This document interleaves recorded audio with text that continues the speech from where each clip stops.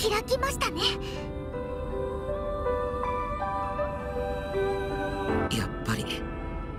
最初の扉を選ぶのは緊張するな。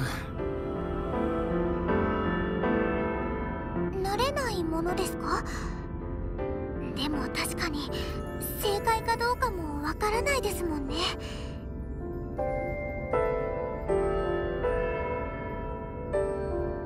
まあ仮に正解だからといってもこの先に魔獣が待ち構えているのは同じだから気は抜かないように。ははい。キリトさんの後をついていきます。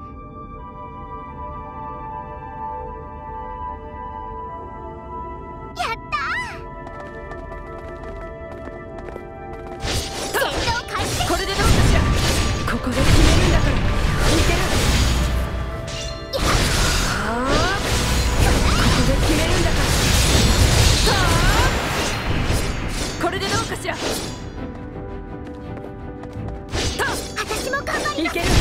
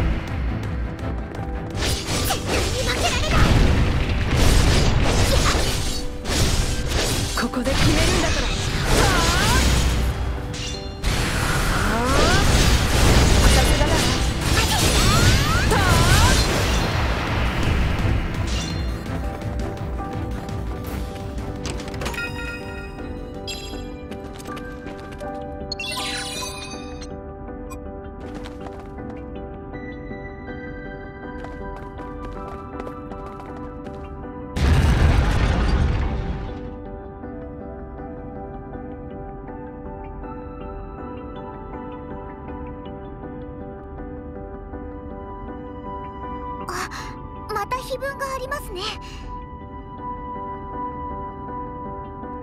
刻印に認められし者よ。炎熱崩壊にゃにゃにゃ三つの刻印を使い先へ進め。キリトさんさっきは崩壊の刻印を使いましたよね。次は炎熱かすり減って読めない方のどちらかですまあ二択に絞れたな。私読めなかったホニャララを最後に取っておくべきだと思います。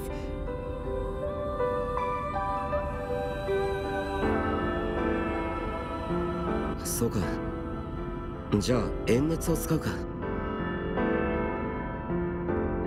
ああくまで私の意見ってことですよ。間違ってるかもしれませんよ。なーに？間違えてもまたやり直せばいいだけさ。